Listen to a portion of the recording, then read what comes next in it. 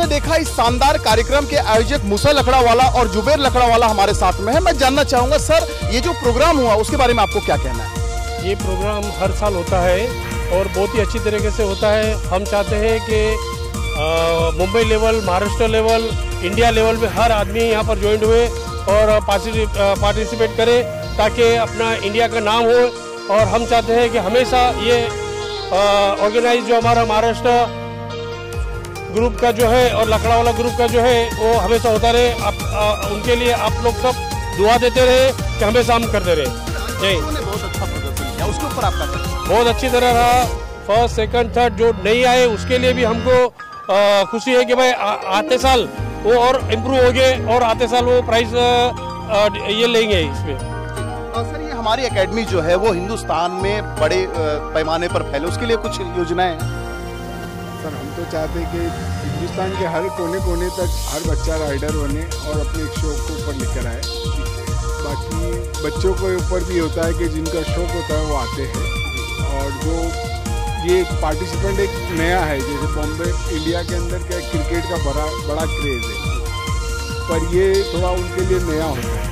एक राइडिंग तो इसके लिए हमने इसको प्रमोट करने के लिए ये ऑर्गेनाइज किया है और हम लोग करते हैं, इंशाल्लाह करते रहेंगे एकेडमी के ऊपर बताइए कि एकेडमी कैसा काम कर रही है? यहाँ पर जो सब सुविधाएँ हैं बच्चों को जो राइडर्स के लिए इंस्ट्रक्टर्स हैं, उसके लिए क्या काम कर रही है? यहाँ पर बच्चों के लिए एक एकेडमी बनी हुई है। यहाँ पेरेंट्स अगर आते हैं उनको छोड़ने के लिए, उनके लिए भी यहाँ पर रूम्स बनाए गए हैं ताकि कोई दिक्कत ना हो। खाने के लिए, रहने के लिए, हर तरह की यहाँ सुविधा है।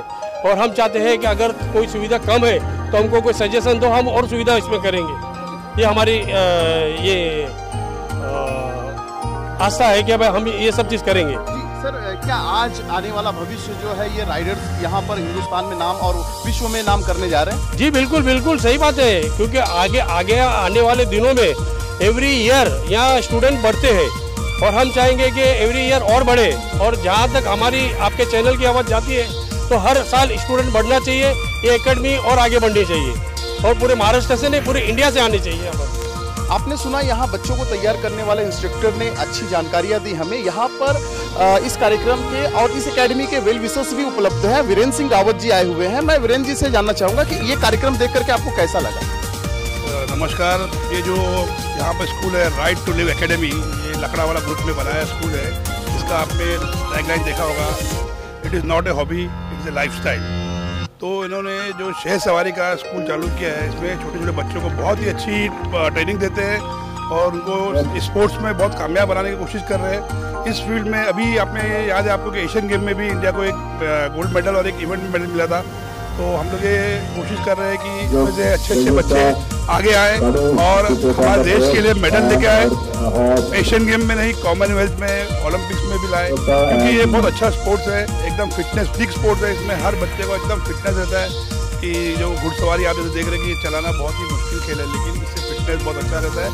हम ये उम्मीद कर रहे हैं कि इस एकेडमी से सीख के जाए हुए गए हुए बच्चे देश के लिए ओलंपिक में एशियन गेम्स में कॉमनवेल्थ में, ज़रूर अपना देश का नाम ऊँचा करें और मेडल लाए। हमारी ये शुभकामनाएँ हैं। बहुत अच्छे मुझे लगे, छोटे बच्चे पाँच साल की उम्र से लेके अठारह, उन्नीस साल के बच्चे सबको आपने देखा होगा। छोटे छोटे बच्चे पाँच साल के बच्चे भी जो है, बहुत अच्छा प्रदर्शन कर रहे हैं।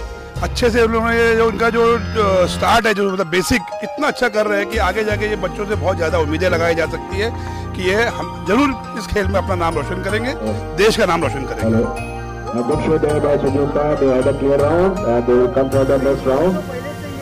Now we have Kashish Bajaj. On Romeo coming for third round.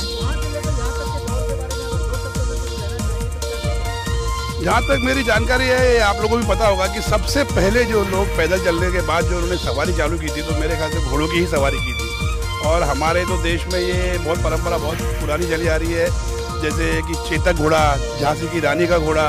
हमारे जो देश के स्वतंत्र संग्राम में भी ये घोड़ों ने बहुत बड़ा योगदान दिया है।